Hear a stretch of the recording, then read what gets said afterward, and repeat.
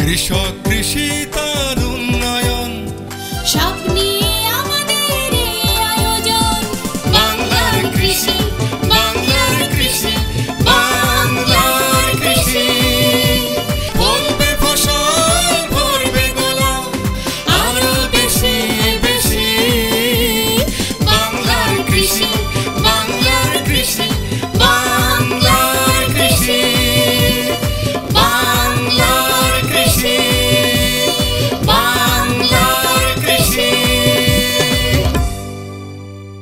কৃষি তথ্য, প্রযুক্তি, পরামর্শ এবং মাঠ ফসলের করণীয় সম্পর্কে জানাতেই আমাদের এই বাংলার কৃষি। প্রিয় কৃষক ভাইয়েরা, বাংলাদেশ টেলিভিশনের প্রতিদিনের কৃষি বিষয়ক অনুষ্ঠান, বাংলার কৃষি থেকে আমি আব্দুল শহীদ মিঠু আপনাদের আমন্ত্রণ এবং শুভেচ্ছা জানাচ্ছি। আমাদের আজকের বিষয়, কুমিল্লার সদর দক্ষিণ উপজেলার মধ্যম রাজাপুরে বাণিজ্যিক ভিত্তিতে হলুদের আবাদ। চলুন দর্শক, এ বিষয়ের উপর একটি প্রতিবেদন দেখি।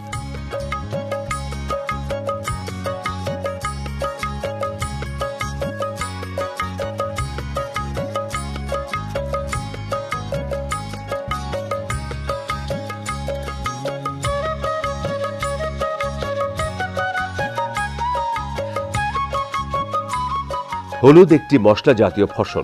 তাছাড়াও রং উৎপাদনে হলুদের ব্যবহার রয়েছে। হলুদের ওষুধি গুণও অসামান্য। এটি বায়ু নিরোধক, রক্ত শোধনকারী, কৃমিনাশক ও জীবাণুনাশক গুণ সম্পন্ন। বর্তমানে হলুদ চাষে মানুষের আগ্রহ বৃদ্ধি পেয়েছে। দেশে সর্বত্রই কম বেশি হলুদ চাষ হচ্ছে। কুমিল্লা জেলার সদর দক্ষিণ উপজেলার মধ্যম রাজাপুর গ্রামে ব্যাপকভাবে হলুদের চাষ হতে দেখা যায়। এ গ্রামের কৃষক মোহাম্মদ শাহ আলম তার প্রায় পঁচানব্বই শতাংশ জমিতে হলুদের আবাদ করেছেন।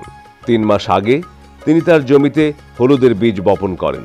আট মাস পরে তার হলুদ সংগ্রহ করার উপযোগী হবে বলে জানান তিনি। এই গ্রামেরই কৃষক আব্দুল মোনাফো তার মতোই হলুদের চাষ করেছেন।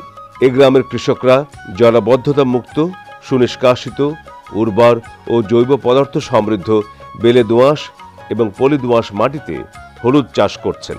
জমিতে চার থেকে পাঁচটি চাষ ও মই দিয়ে জমি তৈরি করতে হয়। জমি তৈরির সময় গোবর, ইউরিয়া, টিএসপি, এমপি, জিপসাম ও বোরন সার আবশ্যক। এপ্রিল থেকে মে মাস হলুদ রোপণের উপযুক্ত সময়। খড় বা আগাছা দিয়ে হলুদের জমিতে মালচিং করলে ভালো হয়। রাইজম থেকে হলুদ গাছ উৎপন্ন করলে ভালো ফলন হয়। জমির আগাছা তিন চারবার দমন করতে হয়। গাছের গোড়ায় মাটি তুলে উঁচু করে দিতে হয়। প্রয়োজনে সেচ এবং পানি নিষ্কাশনের ব্যবস্থা করতে হয়। হলুদ চাষে খরচের তুলনায় লাভ হয় তিন গুণ। রোপণের নয় থেকে দশ মাস পরে হলুদ সংগ্রহ করা যায়। হলুদ বাংলাদেশে মশলা হিসেবে বহুল ব্যবহৃত ফসল। এ ফসল চাষ করে তাৎক্ষণিক বিক্রির মাধ্যমে টাকা পাওয়া সম্ভব। আবার সিদ্ধ করে শুকিয়ে রেখেও যে কোনো সময় বিক্রি করা যায়। অপেক্ষাকৃত ছায়াযুক্ত জমিতেও হলুদ চাষ করা যায়। যাদের সুযোগ আছে হলুদ চাষ করে খুব সহজেই লাভবান হতে পারেন।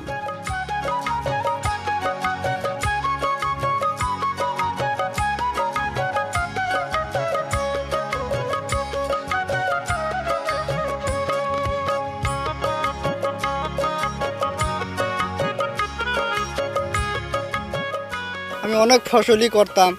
এর ভিতরে আমার হলুদটি একটু ভালো লাগে, কারণ হয়েছে এটা অল্প খরচেই বেশি লাভ হয়। তবে লাগানো হইতে আমার অল্প কিছু টাকা খরচে আমার হলুদ আইসা গেছে। আগে ক্ষেতটা দুটা চাষ দিই। চাষ দেওয়ার পরে কিছু সার মশলা ছিটার পরে আবার ক্ষেত একটা চাষ দিই। আবার কিছুদিন জিরানোর পর কতদিন জিরাতে হয়? এই ম্যাক্সিমাম আট থেকে দশ দিন জিরানোর পর আবার চাষ দিই। চার থেকে পাঁচটা চাষ করার পরে এই ক্ষেতটা দেখা গেছে যে আমি হলুদ লাগালে পনেরো থেকে বিশ দিনের ভিতরে হলুদটা গ্যাস তারপরে মাটিটা ঝুরঝুরে করে হবে। ঝুরঝুরা করে নিই। এরপরে পনেরো থেকে বিশ দিনের ভিতরে আমার গাছ আইসা যায়। হালকা একটা বুট দিয়ে ক্ষেতটা যখন গাছ হয়ে যায় এরপরে একটা হালকা কিছু সার দিয়ে ক্ষেতটা মাটি দেওয়ার পরেই দেখা গেছে যে গাছ আপনার আটু সমান হয়ে গেছে। এরপরে আপনি দেখা গেছে যে আর কিছু সার দেওয়ার পরেই আপনার আরেকবার মাটি দিলে হলুদ আইসা যায়। এটা একবারে খরচ কম তবে লাভবান হওয়া যায় হলুদ খেতে।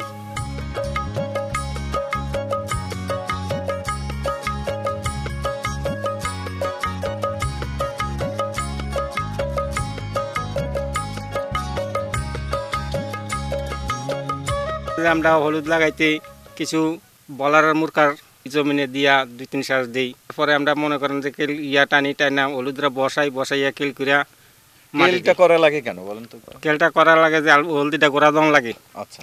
গোড়া দিলে তখন এটা ক্যারট আসবে। গাছ একটু কই উঠলে। আবার আমরা সার মশলা টিএসপি ইউরিয়া পটাশ সার ব্যবহার করি। করার পর আবার মাটি দিই। রোগ বালাই বা পোকামাকড় লাগে কি? পোকামাকড় একদম কম। একদম। একটু মনে করেন যে সাধারণ আমরা দিই যখন পাতাটা একটু কোকড়াই যায় মানে একটু হালকা ওষুধ দিয়ে দিই কোকড়া নিঃশ্বাস হয়ে যায় গিয়া।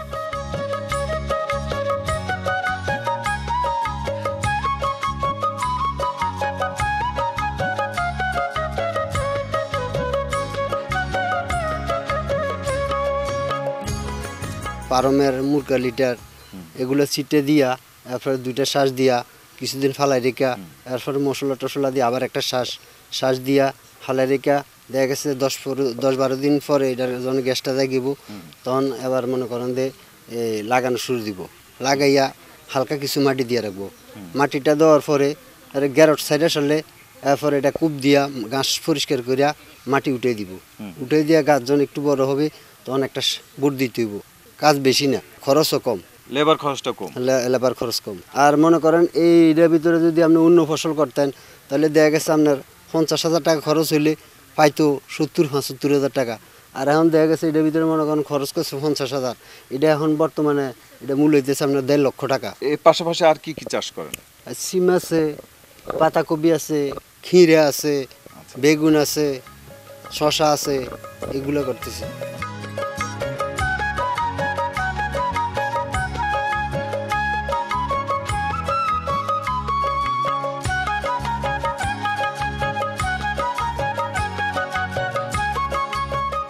জমিটাকে ভালোভাবে চাষ দিয়ে একবার ঝুরঝুরা করতে হবে। এখানে জৈব সার আছে কিছু, গোবর, তারপরে সব ধরনের urea, TSP, potash, gypsum, zinc, boron, সব ধরনের সারই দিতে হবে। তা না হলে হলুদ কন্দ জাতীয় ফসল, এটা নিচটা বেড়ে উঠবে না।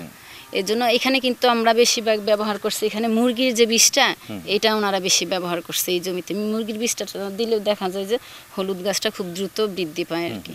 তারপর ওনারা চাষ মই দেওয়ার পরে হলুদ লাগানোর আগে জমিটা একটু জো আসার জন্য একটু সেচ দেওয়ার প্রয়োজন হয়েছে আর কি।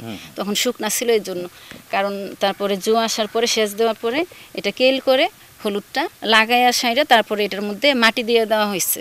তারপর যখন ইয়াটা গজানো হলুদ থেকে গাছ গজাইছে তার পনেরো বিশ দিন পরে এটার যদি আগাছা হয়, আগাছা পরিষ্কার করে হালকা সেচ দিয়ে তারপরে আবার এই কেল করে মাটি দেওয়া হয়েছে আর কি। তেমন বিশেষ কোনো রোগবালা নেই, তবে পোকামাকড় একটা থ্রিপস পোকার আক্রমণ হয় যেটা খুবই কম। আর রোগবালাইয়ের মধ্যে ওই পাতার দাগ রোগ একটা হয়, এইটার মধ্যে যদি আমরা ডাইথেনেম ফর্টি ফাইভ প্রতি লিটারে দুই গ্রাম করে ব্যবহার করি, তাহলে এটা প্রতিরোধ হয়ে যায়। কৃষি গবেষণার বিভিন্ন জাত আছে, যেমন উচ্চ ফলনশীল, বাড়ি হলুদ এক, দুই, তিন, তিনটা, আবার এই পাতার দাগ রোগ, মোজাইক ভাইরাস রোগ প্রতিরোধক আর কি। আমার ব্লকই প্রায় দুই হেক্টরের মতো এইবার হলুদ আবাদ করা হয়। এই এলাকাটাতেই মনে হয় এক হেক্টরে বেশি আবাদ করা হয়েছে, এই যে এই পাশে আছে। খুবই আগ্রহী, কারণ এটা পুঁজি খরচ কম লাগে, কিন্তু আয় বেশি, লাভজনক একটা ফসল। অর্থকারী ফসল। এইবার কিন্তু আবারটা বেশি বৃদ্ধি পাইছে। হলুদটা যেহেতু রাখা যায় তাহলে সেই ক্ষেত্রে ওনাদেরকে কি অন্য কোনো পরামর্শ দেবেন যে রেখে পরে বিক্রি করার মতো? হ্যাঁ এটা তো সংরক্ষণ করা যায়। এটা এক পুন হলুদ সিদ্ধ করি তাহলে কিন্তু দশ কেজি শুকনা হলুদ পাওয়া যায়। এটা কিন্তু শুকায়ও বিক্রি করতে পারে। কাঁচাও বিক্রি করা যায় শুকায়ও যদি আমরা সংরক্ষণ করে রাখি পরে যখন দাম বাড়বে তখনও ওনারা বিক্রি করতে পারবে।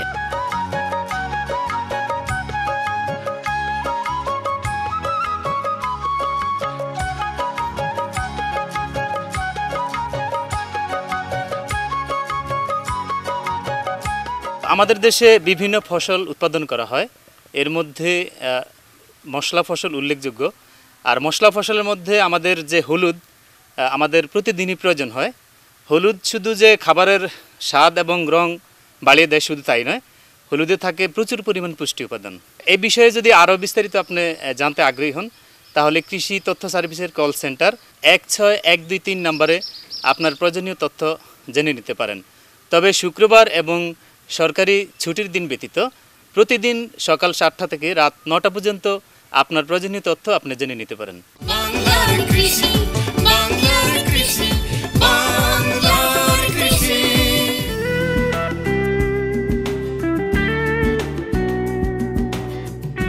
অগ্রহায়ণ মাসের কৃষি।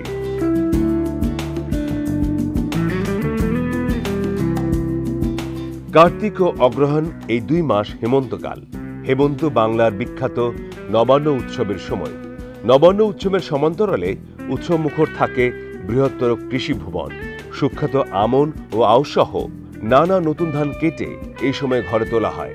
কেননা এই মৌসুমে কৃষির জন্য তুলনামূলক নিশ্চিত একটি মৌসুম। তাহলে আসুন, আমরা জেনে নিই অগ্রহায়ণ মাসের কৃষিতে আমাদের করণীয় কাজগুলো।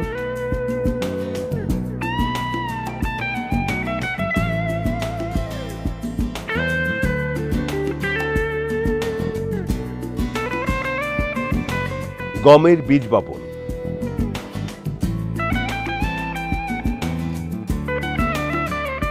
অগ্রহায়ণের শুরু থেকে মধ্য অগ্রহায়ণ পর্যন্ত গম বোনার উপযুক্ত সময়। এরপর গম যত দেরিতে বপন করা হবে, ফলনও সে হারে কমে যাবে। দোঁয়াশ মাটিতে গম ভালো হয়। অধিক ফলনের জন্য গমের আধুনিক জাত যেমন বাড়ি গম পঁচিশ বাড়ি গম আটাশ বাড়ি গম উনত্রিশ বাড়ি গম তিরিশ বাড়ি গম একত্রিশ বাড়ি গম বত্রিশ বাড়ি গম তেত্রিশ এবং লবণাক্ততা সহিষ্ণু বিনা গম এক এসব বপন করতে হবে। বীজ বপনের আগে অনুমোদিত ছত্রাকনাশক দ্বারা বীজ শোধন করে নিতে হবে। গজনের ক্ষমতা শতকরা আশি ভাগ বা তার বেশি হলে বিঘা প্রতি ষোলো কেজি বীজ বপন করতে হবে। সেচ সহ চাষের ক্ষেত্রে শেষ চাষের সময় প্রতি শতক জমিতে তিরিশ থেকে চল্লিশ কেজি জৈব সার, ছয়শো থেকে সাতশো গ্রাম ইউরিয়া পাঁচশো পঞ্চাশ থেকে ছশো গ্রাম টিএসপি চারশো থেকে চারশো পঞ্চাশ গ্রাম এমওপি চারশো পঞ্চাশ থেকে পাঁচশো গ্রাম জিপসাম প্রয়োগ করতে হবে।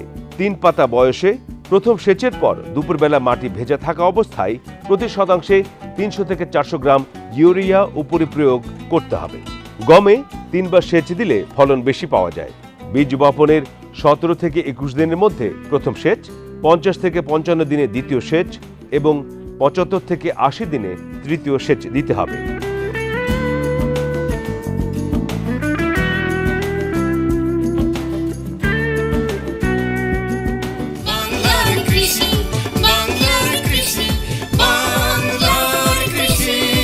প্রিয় কৃষক ভাইরা আমাদের অনুষ্ঠান সম্পর্কে আপনাদের যে কোনো মতামত লিখতে পারেন। লিখবার ঠিকানা? প্রযোজক বাংলার কৃষি কক্ষ নম্বর দুশো বাংলাদেশ টেলিভিশন টেলিভিশন ভবন, রামপুরা, ঢাকা, বারোশো উনিশ। আমাদের ইমেল নাম্বার বাংলার কৃষি one three one four at Gmail dot com আমাদের ফেসবুক আইডি বাংলার কৃষি আপনারা ইচ্ছে করলে আমাদের অনুষ্ঠানটি ইউটিউবে দেখতে পারেন। প্রযুক্তি ব্যবহারের মাধ্যমে উচ্চ মূল্যের এই হলুদ ফসলটি আমাদের কৃষক ভাইয়েরা যেভাবে চাষ করছেন, অদূর ভবিষ্যতে আমরা আমাদের বাংলাদেশের বিভিন্ন এলাকায় এই ফসলের আবাদ দেখতে পাবো। কৃষক ভাইরা আজ এই পর্যন্তই। আপনারা সবাই ভালো থাকুন সুস্থ থাকুন। এই কামনায় শেষ করছি। আজকের বাংলার কৃষি। আল্লাহ হাফেজ। কৃষক কৃষি তার উন্নয়ন।